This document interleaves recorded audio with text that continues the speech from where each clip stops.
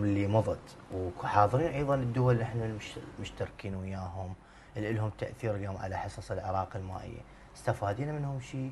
كانوا مرنين بالتعامل معنا؟ أكيد يعني هو هو الجانب الأول هو تطوير الخطط، آه، تبادل الرؤى، الاستفادة من الملاحظات والمناقشات التي تجري في المؤتمر نعم. لتحسين الأداء في تطوير الموارد المائية، هذا هو الأساس.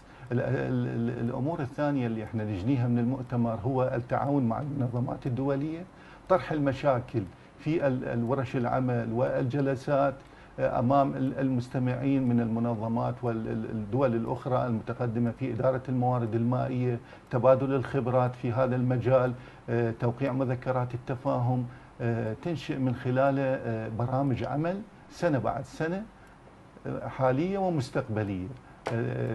تتعلق بالتحديات والمشاكل اللي موجودة وكيفية وضع الحلول لها فهذه يعني الكثير من مذكرات التفاهم توقعت مع المنظمات الدولية.